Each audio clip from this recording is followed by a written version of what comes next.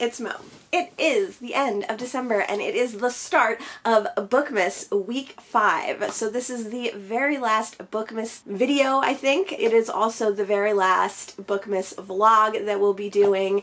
Now, Bookmas BXXK is my version of Bookmas or Vlogmas because I don't celebrate Christmas, I celebrate Xmas, and I've already decided that this is also going to be the ultimate Bookmas bookmas of this channel. So next year, if we do a Bookmas or a Vlogmas, it's going to be a much more traditional Bookmas or Vlogmas. Because I was stricken down with tonsillitis through a good part of December and have been sick in the entire latter half of December and I'm still sick now at the very end of December, I'm not going to do all the videos that I was planning and I am going to be taking breaks. And That all being said, it's been a very productive Bookmas for me actually. I've read quite a few really good books. I was able to get through through the majority of the prompts for Cloak and Dagger Christmas. I was able to get through the majority of the prompts for Christie's Missing Readathon. I'll give myself the last week to do any prompts that I haven't done yet. Probably I won't get any more prompts than I already have now. In the very end of Bookmas, I thought we might as well add one more readathon in and I saw that earlier in December, Books and Lala, Kayla posted her video for the buzzword readathon prompts for 2023. So buzzword readathon used to be like a, what's the word, like an organized readathon that Kayla used to put on. That was before my time on BookTube. And now she just puts out a different prompt for every month of the year. And the whole idea of buzzword is that it capitalizes on words that are common in books or buzzy words in books and in the bookish community right now. So she picks a word for each month and sometimes it's an actual word, sometimes it's kind of a grouping of words and you try to read a book with that word for each month a lot of people just try to complete the 12 prompts at some point during the year. And that's what Kayla herself does because she doesn't really actively participate in the readathon anymore. So she always does a video where she, or I think she always does, a video where she looks at the list from the previous year and decides if she's read all of the prompts yet. I'll leave that video for her for 2022 listed down below. But I've seen quite a few other people do this as well. So they'll go through the list of 12 words or prompts and see which ones they haven't read yet and then finish up on the reading. I decided that that's what I was going to do for the end of December and for the end of Bookmas. But before we get into the 2022 buzzword prompts, which I have here, let's talk about the 2023 buzzword prompts real quick, which I have here. Marty. I never participated in this readathon actually. I like it and I think it's fun and interesting, but this is going to be the first time that I've ever looked to see if I completed a readathon, which was the one in 2022, or to make a TBR for 2023. And my kind of caveat for that is, although I have made myself a TBR for 2023, I don't make TBRs like that and I definitely don't make year-long TBRs except for my X books that I found about in X year and I'm going to read or want to read the next year. So I will be coming out with a 22 books I found out about in 2022 that I want to read in 2023 list. But this is really more of a wish list than a TBR because I don't know if I'm actually going to get these books and I don't know how many I'm going to read. You can already see my 20 books that I found out about in 2020 recap. Definitely go check those out for the 2023 Buzzword Readathon. I did make myself a little TBR. I just grabbed a bunch of different things off my shelf. I'm planning on putting these books back on my shelf like immediately after this video. I'm not planning on reading them for the buzzword, but it's a fun way to look at your TBR shelf, see what you have on there, see if you could make a full TBR out of it. For January, the buzzword is life, or death. And these are in quotations, so she wants you to actually use the word life or the word death. And for that book, I picked The Death of Mrs. Westaway by Ruth Ware. I've had this one on my shelves for a long time. I've read one other Ruth Ware book, which I did not like at all, and I've been meaning to read this. This has been on quite a few different game TBRs, like the BookTube Spin or summer TBRs, and I haven't gotten it to it yet. So if I were doing the Buzzword Readathon, this would be a good one to read in January. The next word for February is verbs, so any action words. And she had in 2022 ing words, which are action words, but because she just picked verbs for this one, you could do past tense, present tense, future tense. And for that book, I picked Palace of the Drowned by Christine Mangan. I've heard good things about her book Tangerine, and this is a historical fiction that seemed interesting to me. I got it in a free little library earlier in 2022. I thought drowned was a kind of a fun verb. In March, the word is secret, and the only book that I had on my TBR was The Secret People by John Wyndham. This is a classic sci-fi by John Wyndham, who's best known for Day of the Triffids, and I actually did start this one earlier in the year. I got about 33 pages in and I was really intrigued, but I was reading a lot of other books at the time, so I ended up putting this one aside. It's got an amazing cover. For April, the buzzword is emotions, so that can be happy, sad, elated, etc., etc. And for that, I picked Sorrowland by Rivers Solomon. So my emotion for this book is sorrow. This is a sci-fi dystopian cultish horror book that has commentary on colonialism and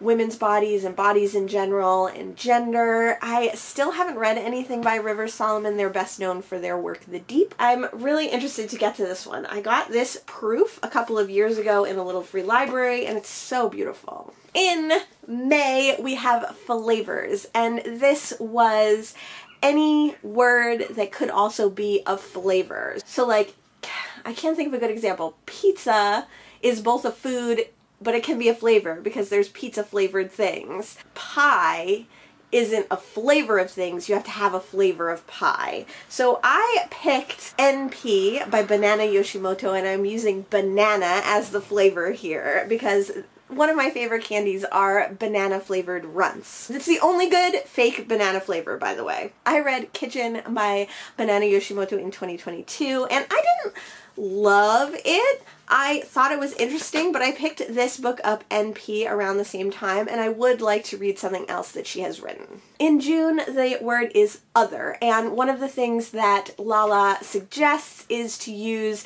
and other stories, so use a collection of short stories because it has other in it. She said that using a word like mother shouldn't count, so it should be the word other only. I was hoping to find a book that was not and other stories, but I did end up picking Women Hollering Creek and Other Stories by Sandra Cisneros. In 2022, I read The House on Mango Street, which is a Latin American modern classic, and I did enjoy that one, although it felt very young to me. So I thought that this would be a good way to get more of her writing in a small package. The buzzword for July is weather words, and I picked a really obvious one. I picked Weather by Jenny Offill. This is a story told all in very small vignettes, and it does fit as a weather word. The word for July is body parts. I picked Red at the Bone by Jacqueline Woodson. I've never read any Jacqueline Woodson, but I've heard only good things about this one and have been meaning to read it for a while. Bone, I think, is a good body part word.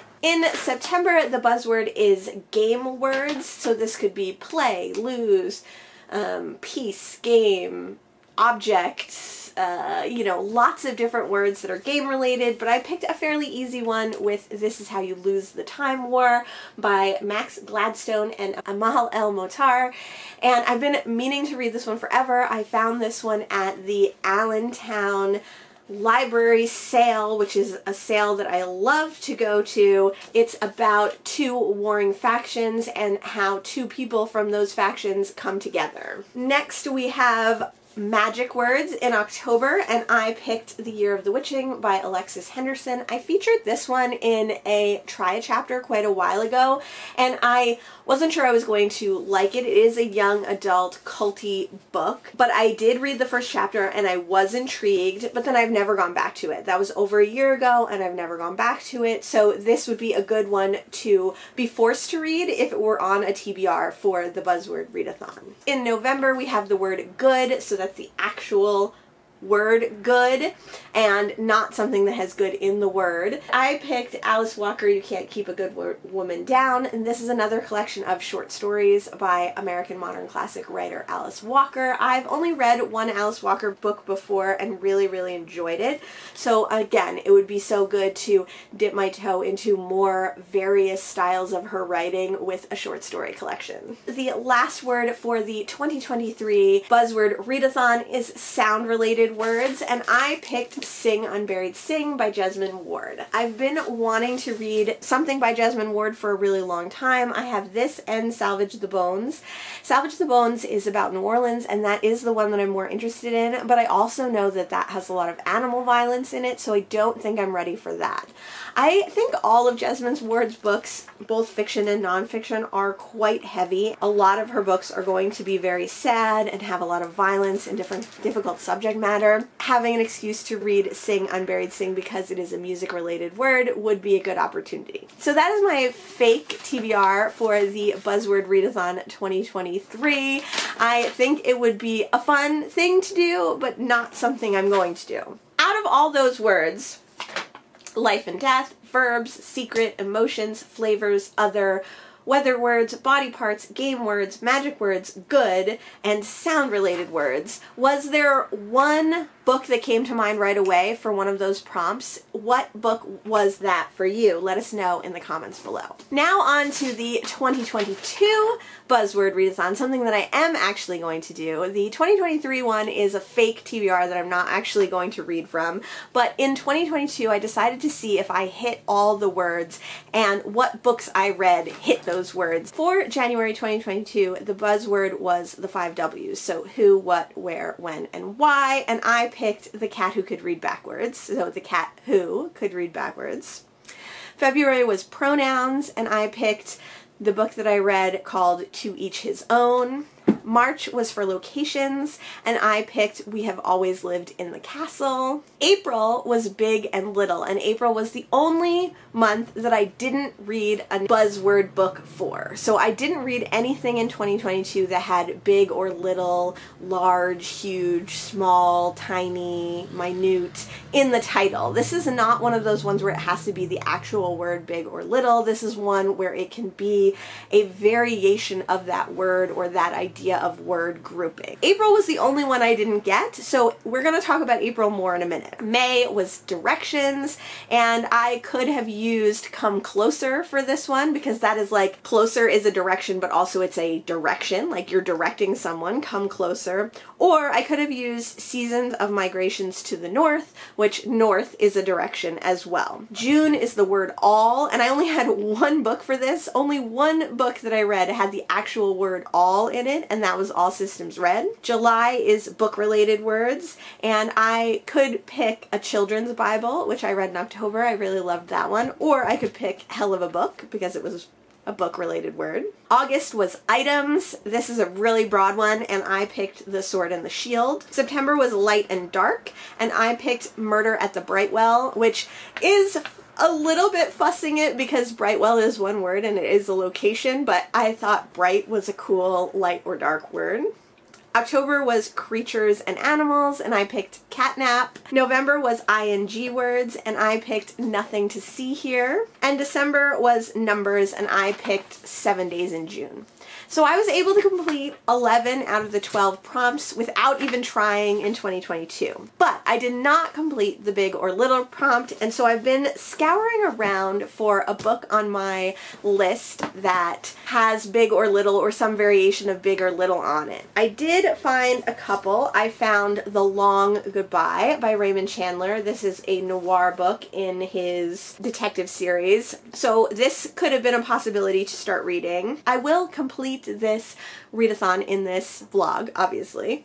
And then another one is Out of the Deeps by John Wyndham. So deep is like big or little deep. I thought that kind of worked. It's also out of the deeps, so it's more like a place than a large or small word. So I wasn't super thrilled with either of those. The Long Goodbye is in the middle of a series, so I didn't particularly want to read that. And then I realized that I still haven't finished The Long Way to a Small Angry Planet, and small definitely works for big, little, small. Long also works, so it has a big word long and a little word small in it. And so I was like, well, I should probably finish this. I got about two thirds of the way through this way back in August and then I put it down. I wasn't really enjoying it. I think this could be called cozy sci-fi and I don't think I'm a cozy sci-fi reader. I did try to find this book on audio and I did find a couple of audio versions, but they were boring me so much that I decided that not only am I not going to read this book for the 2022 Buzzword Readathon, but I am going to officially 100% DNF for all time this book and give it back to a little free library. I know so many people love The Long Way to a Small Angry Planet, and I wish I was one of those people too, but I'm just not. The only other book that I had on my TBR that seemed like it would work was The Wide Sargasso Sea by Jean Rhys. This is the book that I picked to complete my 2022 Buzzword Readathon.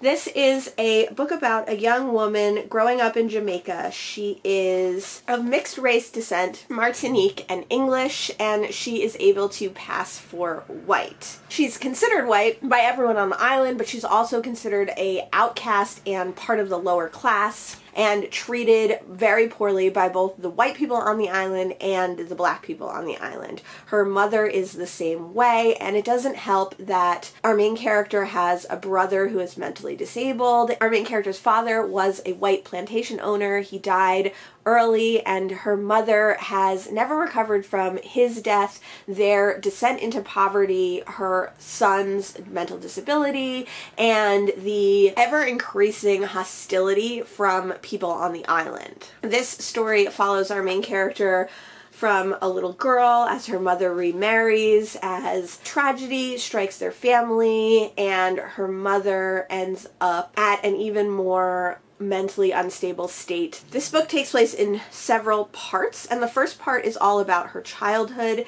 and then the second part, which is what I'm currently reading, is about how when she grows up to be a young woman, her mother's second husband's family marries her off to a poor Englishman. She came into quite a bit of money due to her stepfather leaving her a lot of his estate. His son wants to marry her off and keep the money kind of in circulation and in English hands. I really am enjoying it. I really like the way it's written. Jean Rhys was a Jamaican, a white Jamaican woman who had ties to England and later moved to England. So there's a lot of descriptive passages that it's obvious that the writer's very familiar with this place and these things and this culture, but also almost not giving you as the reader everything, almost supposing that you understand what she's talking about, even though having no reference at all for it, I don't really.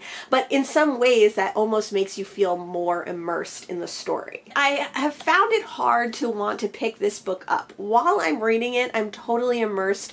I'm really interested. I really enjoy the writing style. I'm interested in the characters and their dynamic and what's going to happen to them. There's a lot of intrigue in this. There's a lot of deception and miscommunication and non-communication communication, communication and I do plan to finish it over the next couple of days in the last few days in December. I only have about 70 pages left to go.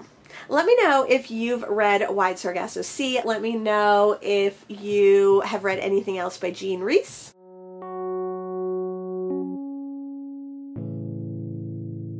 Wow. Oh, whoa.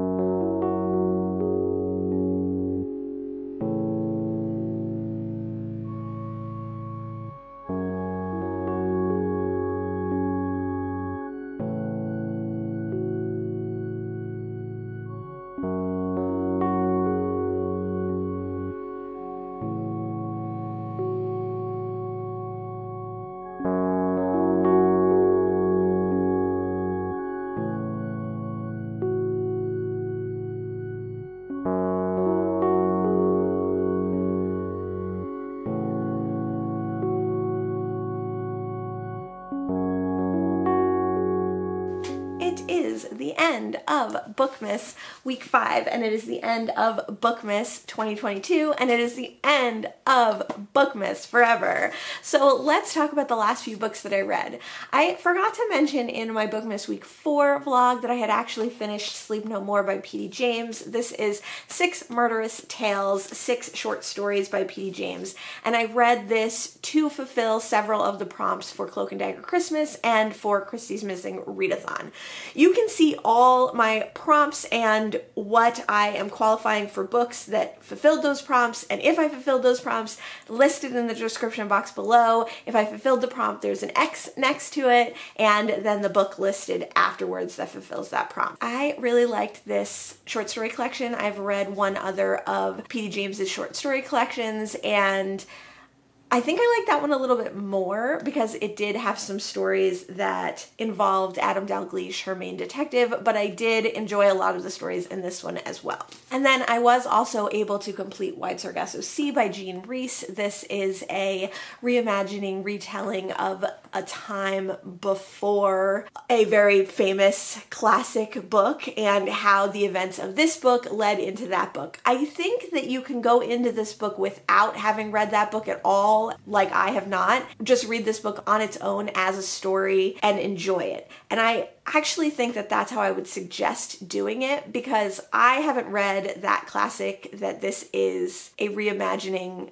prequel to. And I found that because I knew it was a reimagining prequel and I knew some of the outcome that was going to happen in this book, I didn't find myself wanting to pick this book up as much because I kind of knew the ending. Like I knew what was going to happen in the end. Even though I've never read that classic through pop culture osmosis, I just know the story of it to a certain extent. So I would suggest that if you've read that classic and you want to read this reimagining prequel, definitely this was a great, well written, interesting book and an interesting look at what might have happened. And that's fine. If you read the classic and you want to read it, great. But I would say if you just want to read this book and you have no knowledge of what classic it is referencing, then you can go ahead and read this novel. It's about our young main character growing up, how she deals with life, how she perceives herself and how she sees other people perceiving her. It has to do with her family members. And when she's married off and her fortune kind of given away to a young man from England,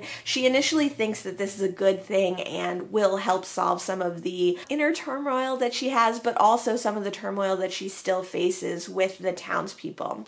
Unfortunately, it doesn't really go as she's expecting. I liked the idea of the um, English and Jamaican heritage that come into play with this.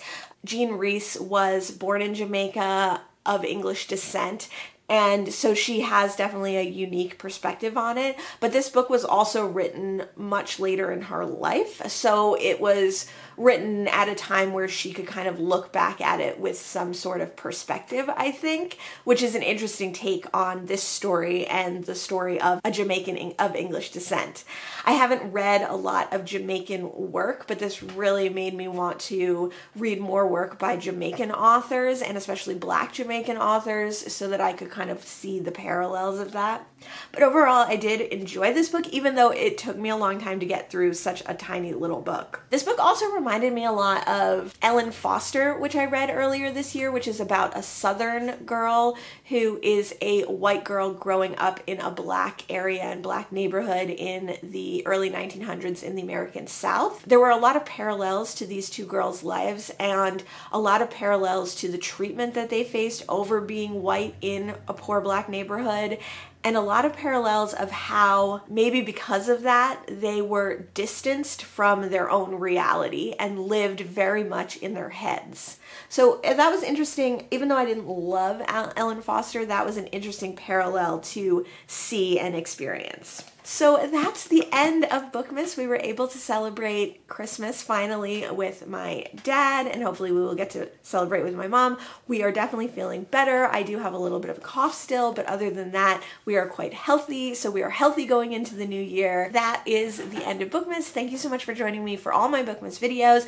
and look forward to a lot of New Year videos coming up soon. I've already done my Goodreads chat, and I will be doing my December wrap up. Moving on to the new year of reading. I will be doing my goals videos and other videos that have to do with the new year. Let me know what emotion you went into the new year with. Leave that in the comments down below. Thanks so much for joining me, and I'll see you in the next one. Bye.